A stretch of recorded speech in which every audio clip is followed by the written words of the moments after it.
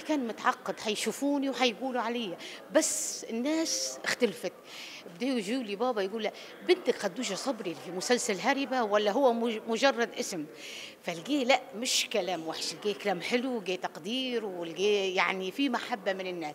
هني كانت يعني الانطلاقة لي تلفزيونية وأنه هو رحب بالفكرة قعدت فترة بس برضو رجعنا للمشاكل إلى أن تم جواز بس اسمحي لي انت قلتي في الندوة إن حصل ضرب وحصل يعني حاجات كتير آه طبعا طبعا ما هو أنا قلت لك بقى جه الضرب؟ مش مش يعني الموضوع طويل يعني فعلا ليه الضرب حصل؟ الضرب بو يضربني يعني منعني من المدرسة عشان بروح بروفات يعني حتى المدرسة بديت يعني مش مزبوطة فيها من بداية اتجاهي للمسرح حبي للمسرح أكثر فأنا ضربت وانحرمت من الدراسة قال لي يا إما مسرح يا إما الدراسة.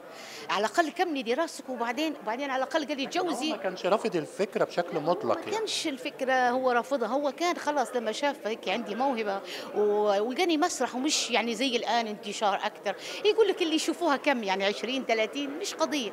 بس لما يعني كبرت صار الحرص أكثر و- ولما التلفزيون كان أيضا خوف أكثر.